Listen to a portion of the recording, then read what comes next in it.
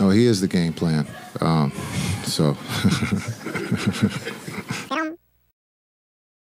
皆さん、こんにちは。ダンクマヨシです。つい先日、オールスターのスターターが決定したということで、ウエストがレブロン・ジェームスとニコラ・ヨキッチ、そしてケビン・デュラントとルカ・ドンチッチ、そしてあとはシェイでしたね。そしてイーストがジョエル・エンビードとジェイソン・テータム、ヤニス、あとはハリバートンとリラード。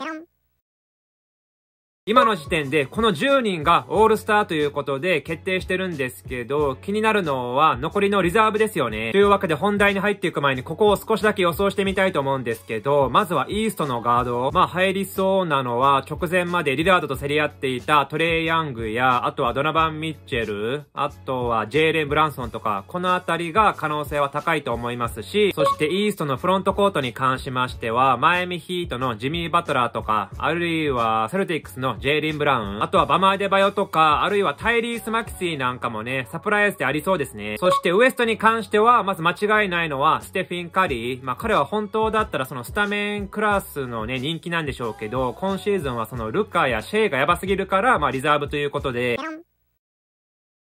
あとはアンソニー・エドワーズ、ジャマール・マレーなんかもね、個人的には選ばれてくれたらね、とても嬉しいですね。そしてウエストのフロントコートに関しましては、アンソニー・デイビスやカワイ・レナード、この辺は間違いないかと思いますし、あとは先ほどのジャマール・マレーと同じ理由で、シェングンなんかもね、選ばれてくれたら嬉しいですね。なので皆さんが予想するオールスターのリザーブも、ぜひぜひコメント欄で教えてください。ということで今回のメインテーマなんですが、最近 NBA の得点記録がやばいということで、つい先日もカール・アンソニー・タウンズが60 2点を取ってい、て、そしてその同じ日に、ジョエル・エンビードも70点を取っていました。そしてさらに今回はね、それらを上回る得点があったということで、まずはフェニックス・サンズ。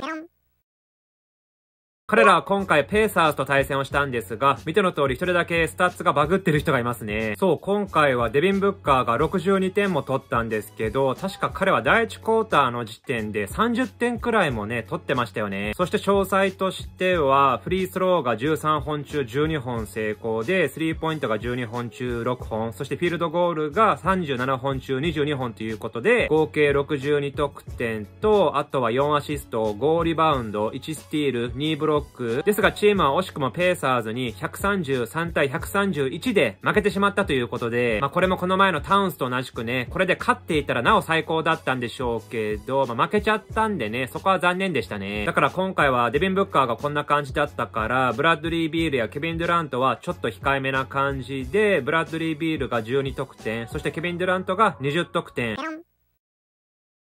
ですがこの日ビールはちょっと接触があって、鼻が折れた状態でプレーをしていた可能性があったようですね。そして渡辺裕太は相変わらずプレータイムはなし。そして今回勝利したペーサーズサイドとしては、ハリーバートンがね、いなかった中、シアカムが1人で31得点、7リバウンド、4アシスト、2スティール。そしてあとはオビトッピンがね、試合中のイーストベイダンクなんかもありましたが、それよりも彼は決勝シュートなんかも沈めて、最終的に23得点、11リバウンド、3アシスト、1スティール、1ブロック。いやー、ペーサーズとしてはね、タイリス・ハリバートンがいない中、この試合の前までは7連勝と絶好調だったサンズを相手にね、追いつくことができて大きな勝利となりましたね。ですが皆さん、今回もね、この前のカール・アンソニー・タウンスと同じく、その同じ日に、このデビン・ブッカーよりも得点を取った選手がいまして、そう、その名前は、ルカ・ドンチッチ。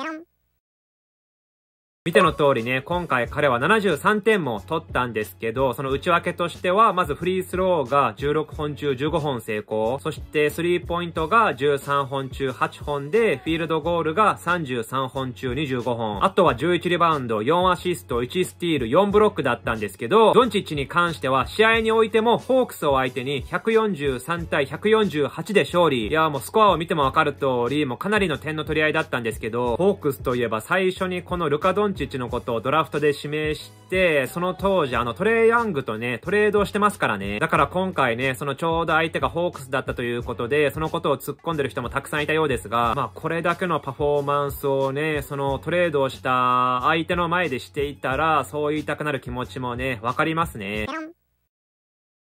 そして今回はカイリー・アービングがね、怪我でいなかったんですけど、まあそういった影響もあって、ルカ・ドンチッチのアテンプトが増えて、73点へとね、繋がりましたね。そして次はこの当時ね、ルカのことをトレードしていたホークスサイドも見ていきたいと思うんですが、当時このルカとトレードをされていた張本人、トレイ・ヤングは、2本のスリーポイントを含む30得点、11アシスト、3スティール、1リバウンドと、まあこれも間違いなくね、立派な数字なんでしょうけど、今回のルカ・ドンチッチの前ではね、やはり霞んじゃいますね。そしてあとはジェイレン・ジョンソンも25得点、デジャンテ・マレーも22点、そして、ボグダン・ボグナノビッチも24点を取っていて、ホークスサイドもね、今回はかなり点を取っていたんですけど、やはりマーベリックスというか、ルカ・ドンチッチがね、今回はエグすぎましたね。ということで今回はこういった機会なんで、この一試合における得点の記録をね、確認しておきたいと思うんですが、まずナンバーワンは皆さんもご存知の通り、このウィルト・チェンバレンが1962年に記録をしていた100得点。いやーでもこれに関してはデローザンも突っ込んでいましたが、この調子だともうすぐ100点を取る選手もね、現れそうですよね。そして次もね、かなり見覚えがある名前ですが、コービー・ブライアントが2006年に記録をしていた81得点。そして3位に関しても、ウィルト・チェンバレンの70 78得点で、そしてその次に今回のルカ・ドンチッチの73得点がランクイン。そしてその次がデイビッド・トンプソンによる同じ73得点で、そしてその次がね、ウィルト・チェンバレンの73得点、73得点、そして72得点で、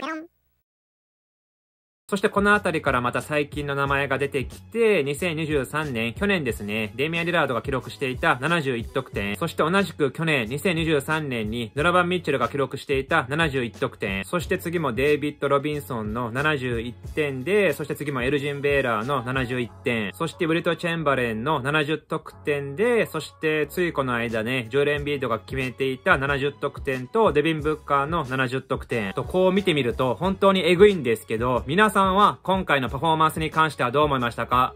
コメント欄で教えてください。というわけで今回のダンクマントークも NBA の英語実況を理解するための英語コーナーということでやっていきたいんですが、今回見ていくフレーズはこちら。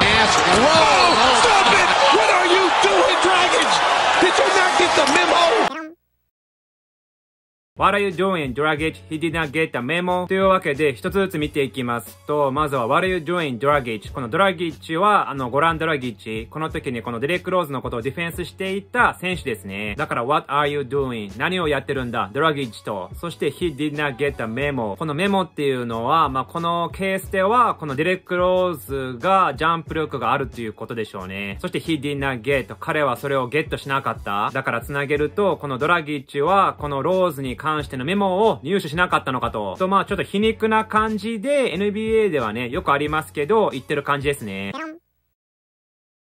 はい、というわけで今回はこのフレーズを見ていったんですが、今後もこのコーナーが見たい方は、チャンネル登録と高評価をよろしくお願いします。はい、てな感じで今回は以上です。ご視聴ありがとうございました。